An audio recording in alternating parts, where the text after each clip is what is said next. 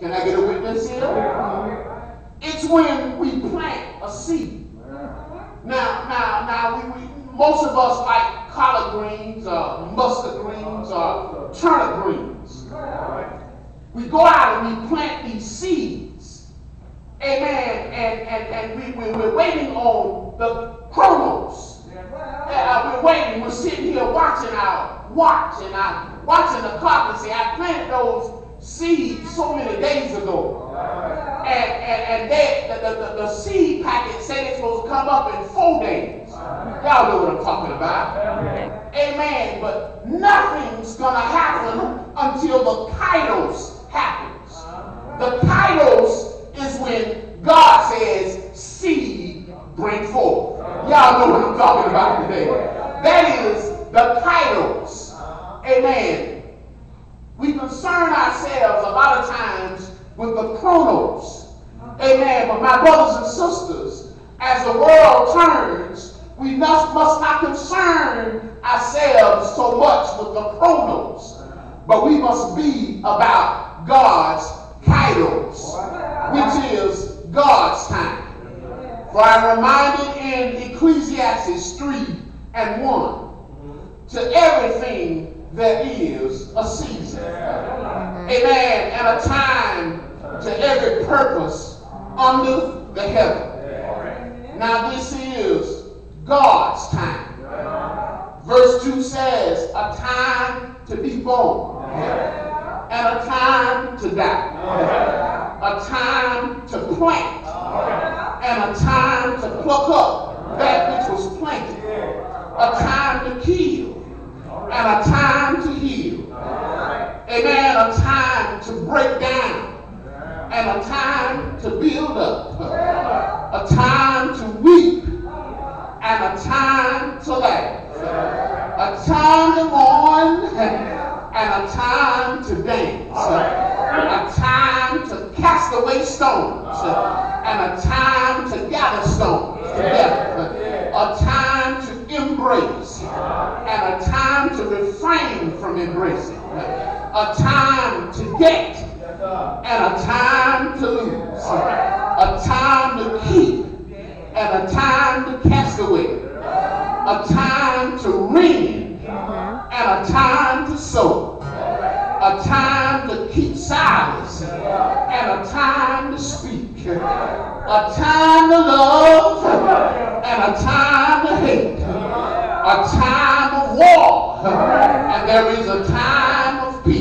But I'm going to tell you something. There's nothing that's going to happen uh, until God's kairos happen, uh, which is God's time. Uh, many times in our lives, we try to hurry on things that we should wait on. we have children trying to act like adults, and then we have some adults trying to act like children.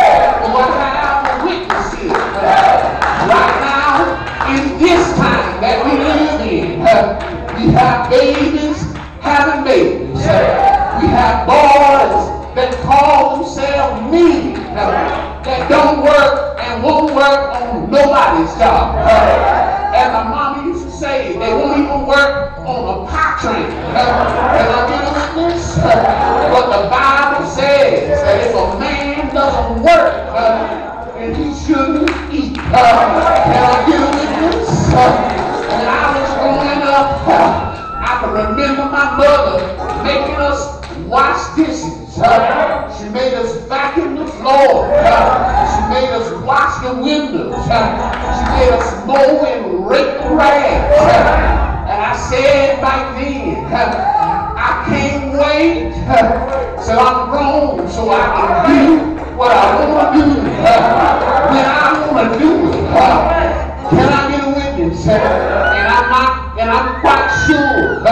that there are some young people in here today that have said that very same thing.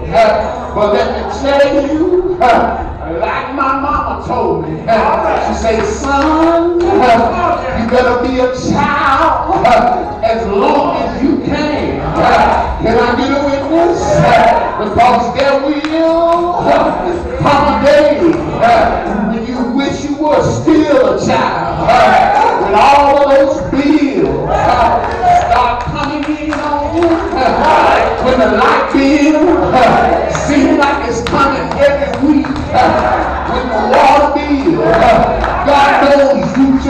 it, but the bill comes tomorrow.